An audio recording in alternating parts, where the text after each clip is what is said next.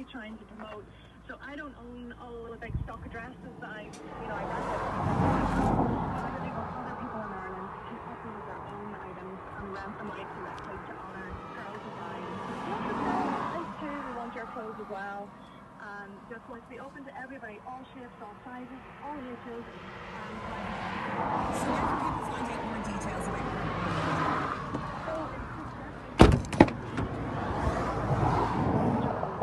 so it's just Okay, so we're going to dedicate today's mullet mix to Victoria and all the team at Rent My Wardrobe.